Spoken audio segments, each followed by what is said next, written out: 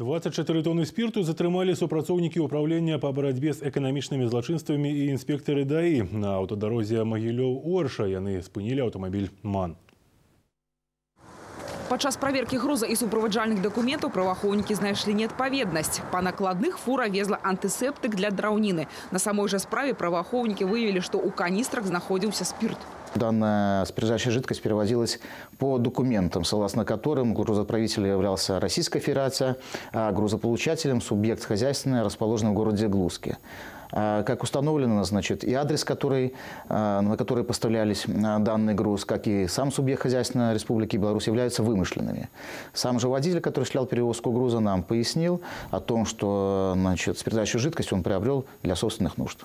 Зараз па факце прызначана праверка. Вінаватыя ў парушэнні закону будуць прыцягнуты да адказнасці. Лёс груза вызначыць суд. Наталья Ильинич, навіны рэгіёна.